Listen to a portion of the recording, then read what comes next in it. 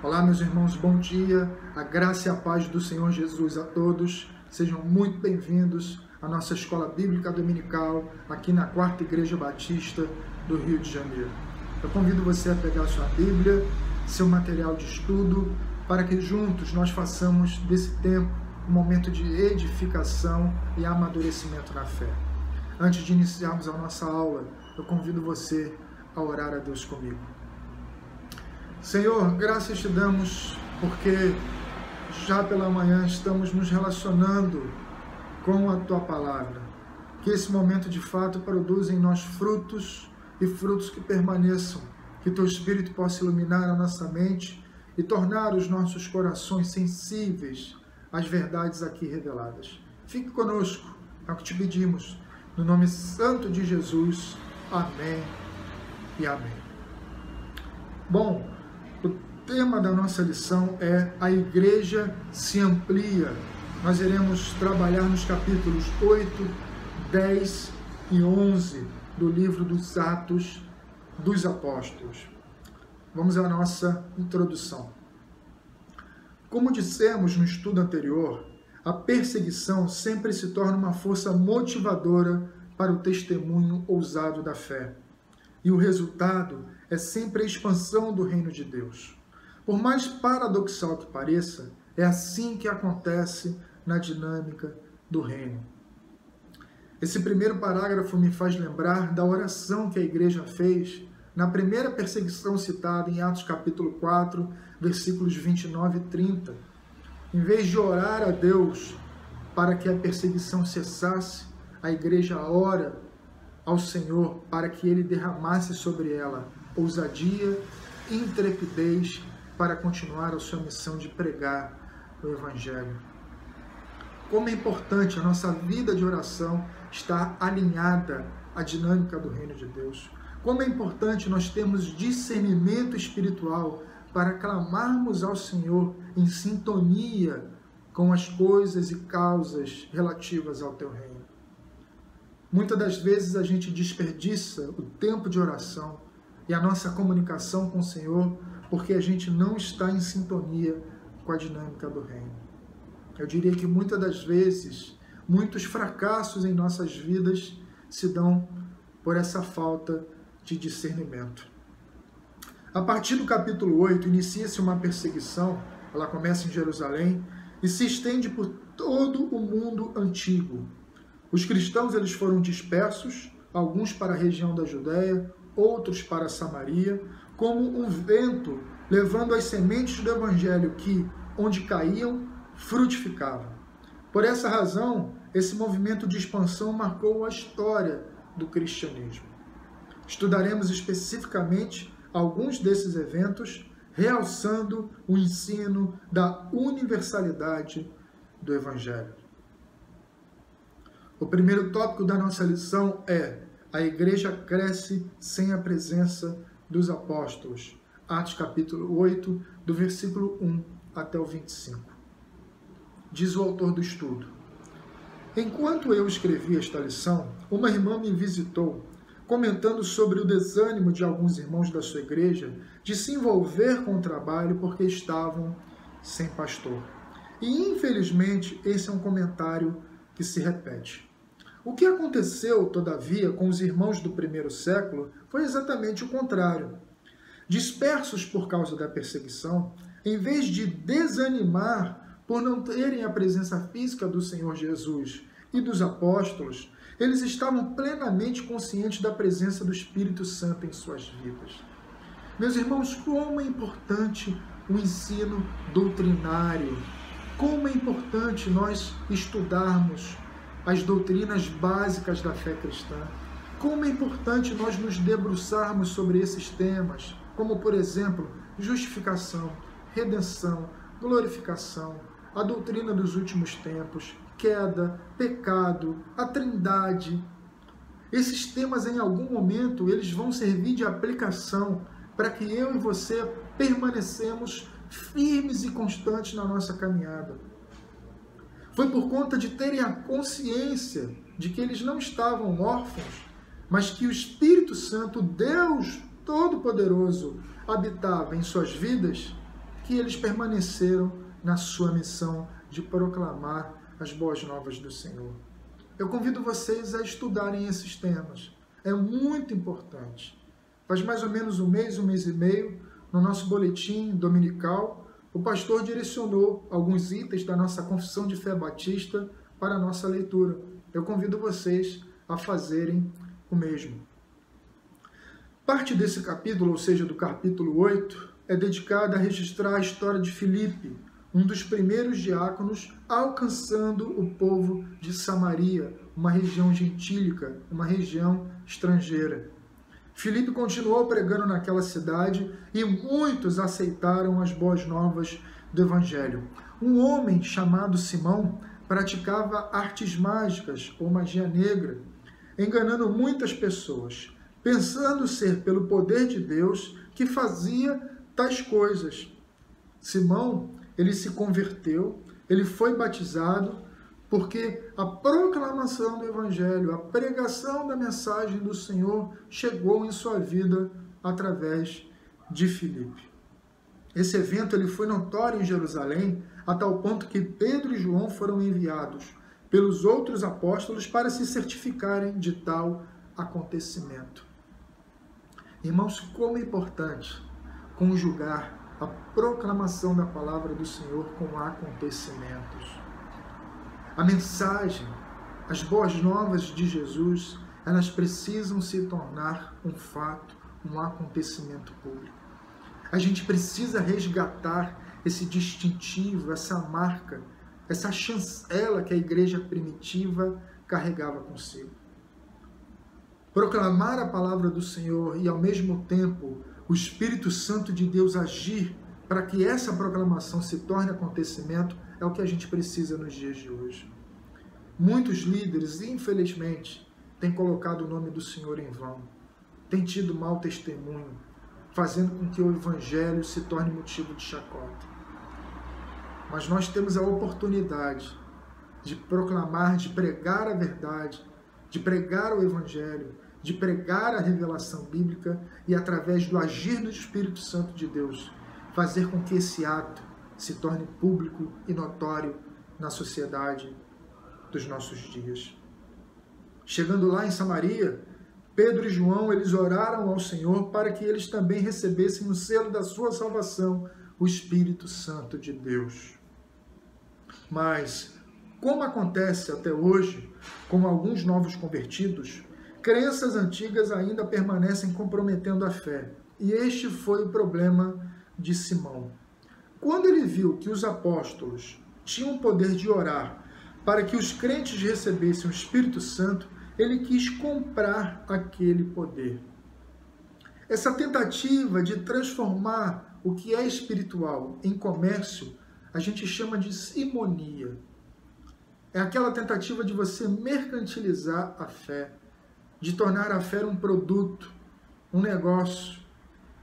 E obviamente que Simão ele embarcou nesse erro porque ele ainda não tinha uma consciência plenamente transformada. Muitas pessoas hoje, elas adotam essa prática. Nós temos visto muitos pastores, infelizmente, negociando a fé, tornando oração, cura, bênçãos, milagres e até mesmo tempo de oração em produto. Esse testemunho, queridos, entristece o coração do nosso Deus e cabe a nós, cabe a nós, de fato, exercer um testemunho fiel orientado pela palavra do Senhor. Cabe a nós testemunharmos ética e moralmente, biblicamente nesse tempo. Simão ele teve essa consciência errada, mas ele foi repreendido pelos apóstolos. E em função dessa admoestação, ele se arrependeu do seu pecado. Voltando para Jerusalém, Pedro e João aproveitaram todas as oportunidades para evangelizar nas aldeias por onde passavam. Eu quero fazer um adendo aqui sobre a vida de Simão.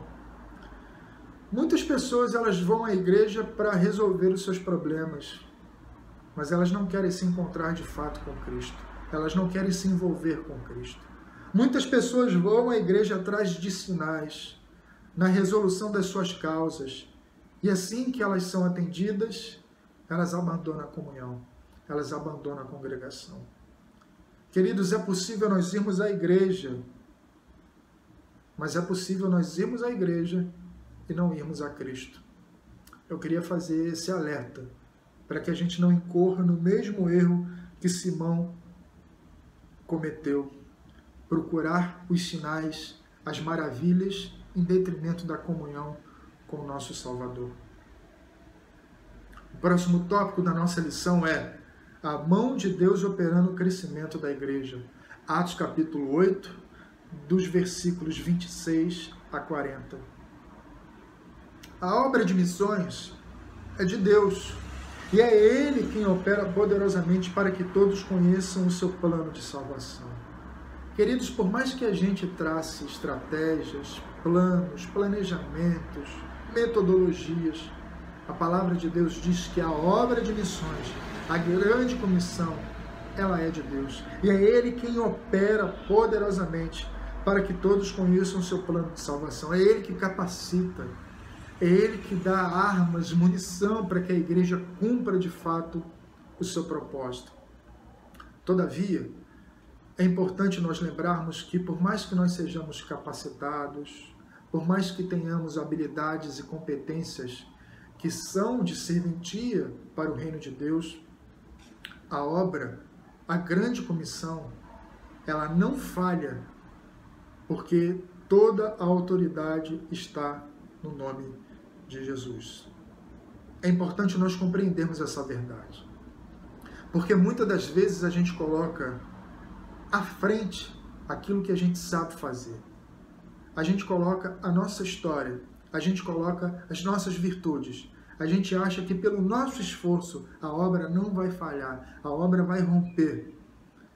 Só que quando a gente volta os nossos olhos à palavra de Deus, a gente percebe que a obra não para, porque a autoridade está no nome de Jesus. Foi o que ele disse, está registrado no Evangelho segundo Mateus, capítulo 28, dos versículos 18 a 20, quando Jesus fala acerca da grande comissão. Ele diz: Toda autoridade me foi dada, ou todo poder me foi dado no céu e na terra. Queridos, a obra de expansão da igreja, de proclamar o evangelho, a grande comissão, ela não para, não por mim, não por você, mas porque a autoridade está no nome de Jesus. A autoridade está na sua pessoa.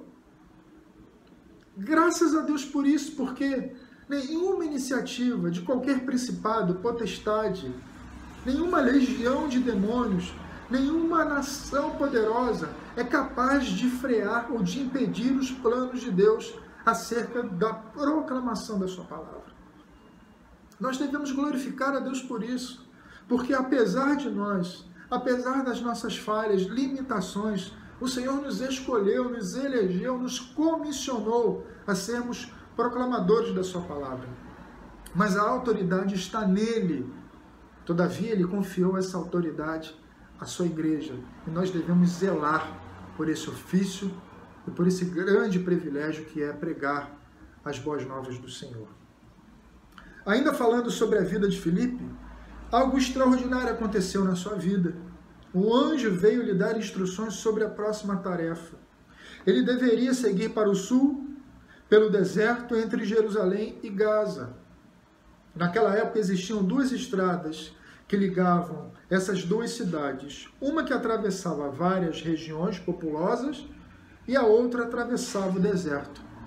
Filipe foi enviado pela rota menos provável, mas ao obedecer, teve o privilégio de pregar o evangelho e batizar o administrador da rainha Candácia da Etiópia, o eunuco. Filipe pregou Isaías 53, que versa sobre o servo sofredor ao eunuco. Que privilégio!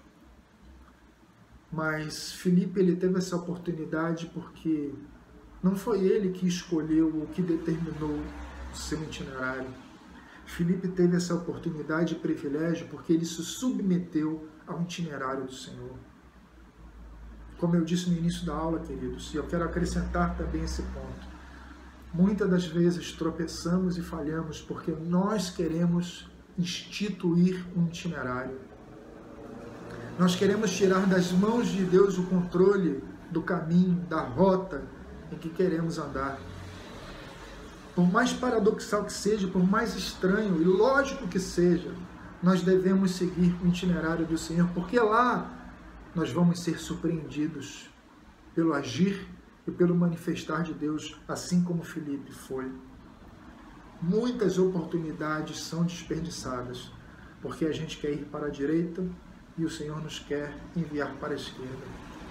Que nós estejamos mais sensíveis à direção, à voz do Espírito Santo de Deus sobre o nosso caminhar, sobre o proclamar, sobre vivermos a missão da Igreja de Cristo. Nós não sabemos quantas pessoas naquele país, na Etiópia, conheceram o amor de Deus por meio desse homem, por meio do eunuco. Mas com certeza, alegre como ele ficou, deve ter compartilhado sua experiência com muitos.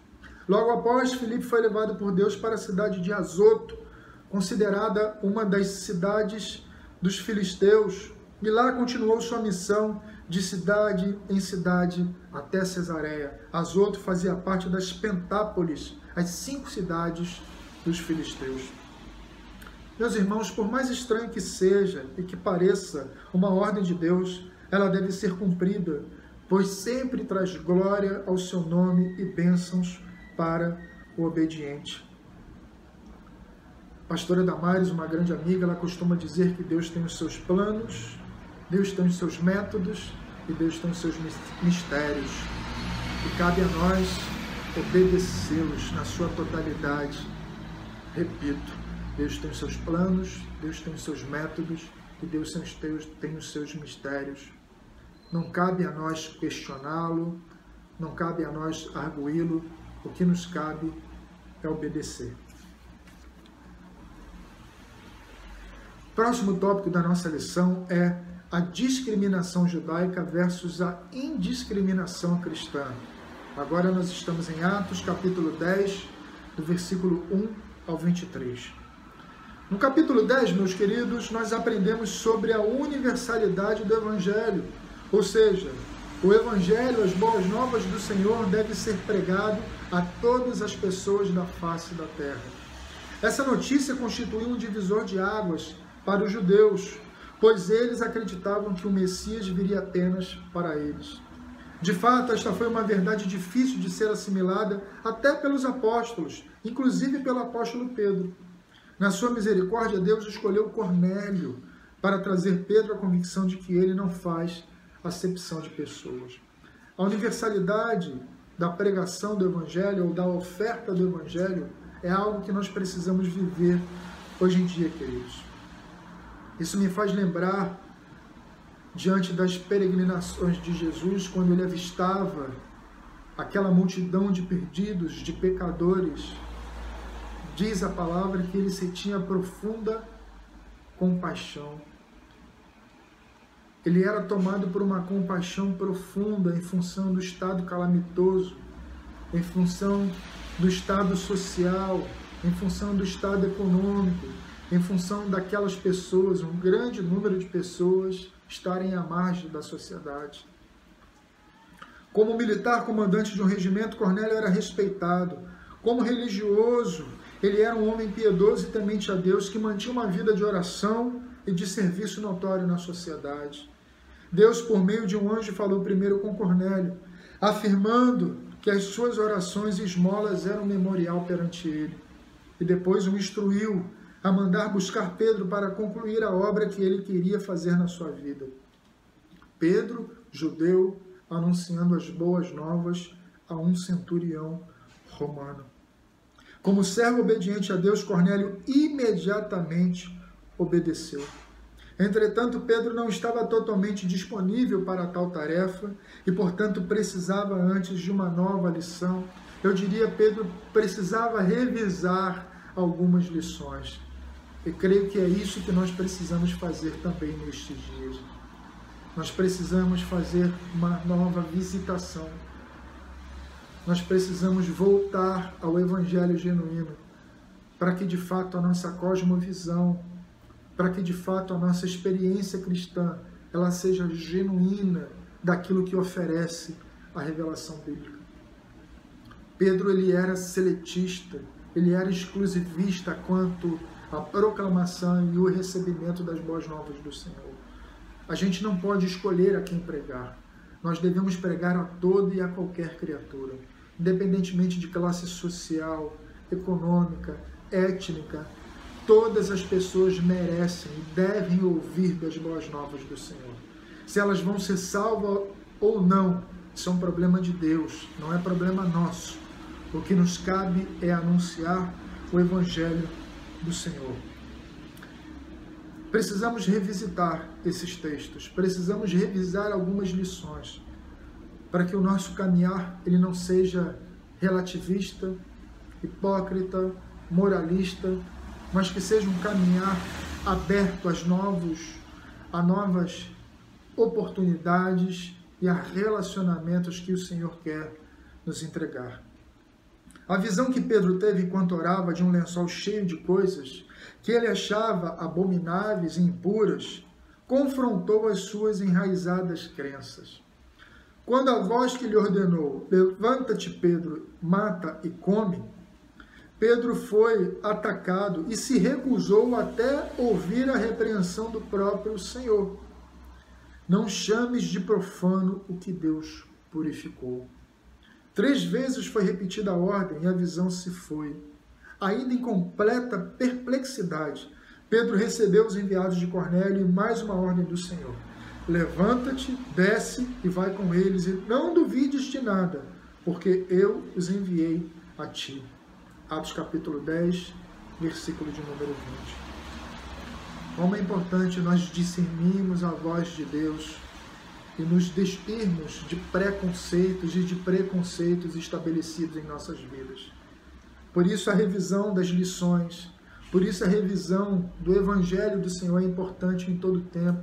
Eu diria que todos os dias nós devemos revisar os ensinamentos da palavra do Senhor, para que a gente não seja exclusivista, para que a gente não seja moralista ou até partidário como Pedro foi, ou até patriota como Pedro se comportava. Nosso próximo, nosso próximo tópico é o evangelho pregado para a elite e para os servos, e eu também vou juntar com outro tópico que é uma cidade como alvo do evangelho.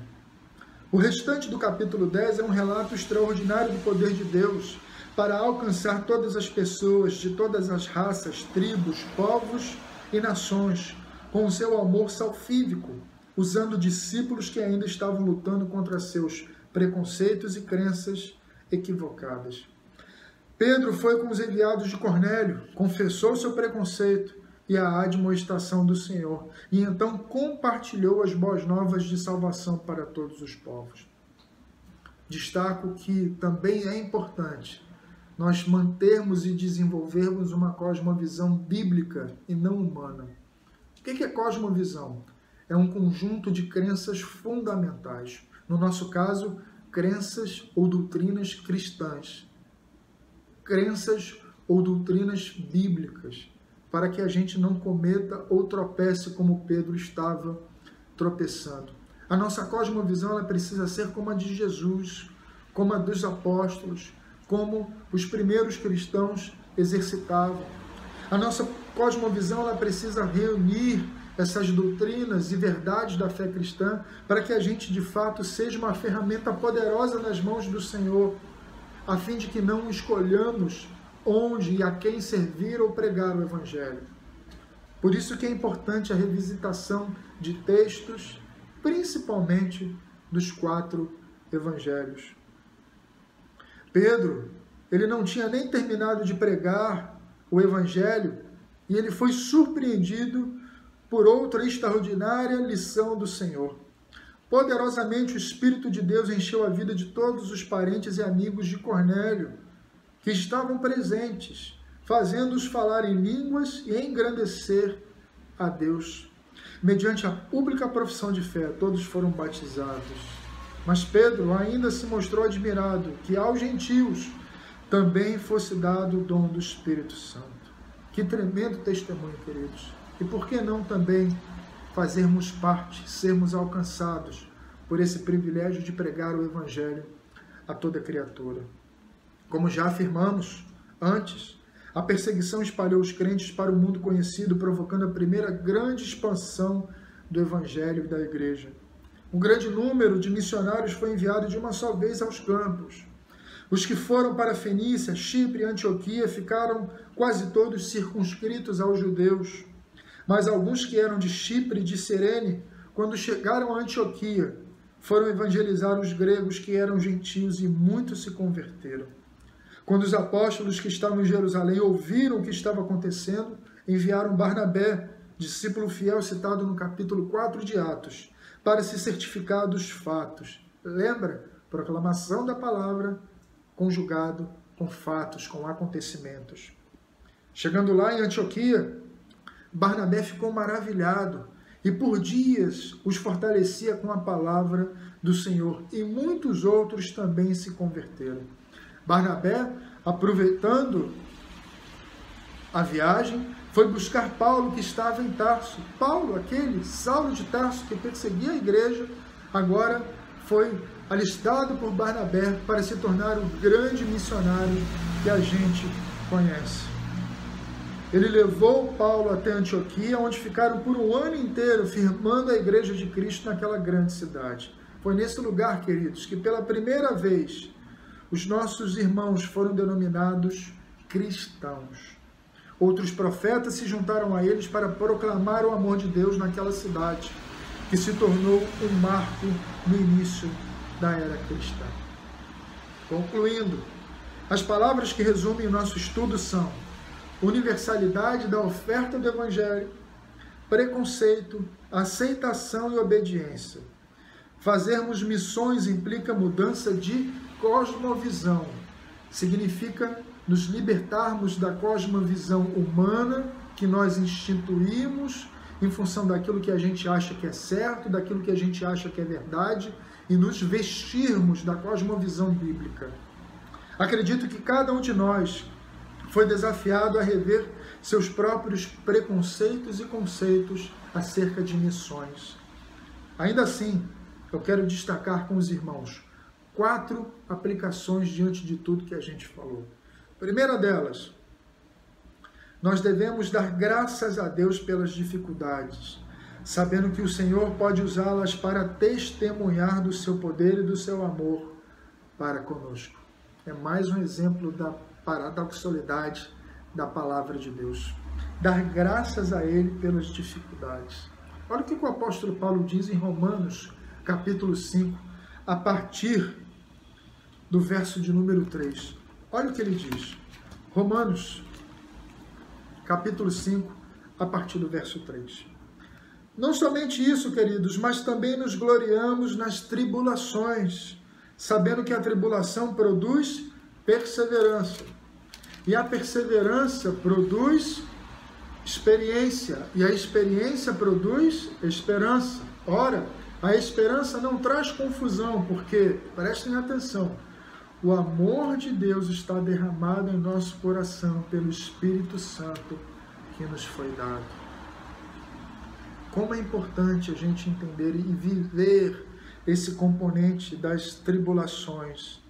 Como é importante nós darmos graças a Deus também pelas tribulações, porque são através desses obstáculos vencidos, através das lutas que travamos, que a nossa fé é polida, que ela é forjada, e assim os nossos passos se tornam firmes e constantes no Senhor. Segunda aplicação, nossos preconceitos são barreiras que precisam ser demolidas para que possamos testemunhar o amor de Jesus com todos. Nós falamos, nós precisamos despir, nos livrarmos da nossa cosmovisão construída pelos nossos conceitos, pelos preconceitos e por, pelas nossas ideologias e daquilo que a gente acha que é verdade e vivermos a cosmovisão, instituir a cosmovisão bíblica, que é pautada pela graça, pela misericórdia e pela bondade do Senhor. Terceira aplicação: a capacitação vem dele para cada tarefa que coloca em nossas mãos. A capacitação vem de Deus para cada tarefa que coloca em nossas mãos.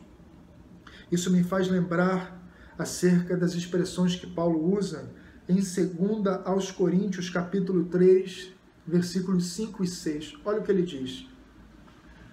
Não que sejamos capazes por nós mesmos de pensar alguma coisa como se partisse de nós mesmos, mas a nossa capacidade ela vem de Deus.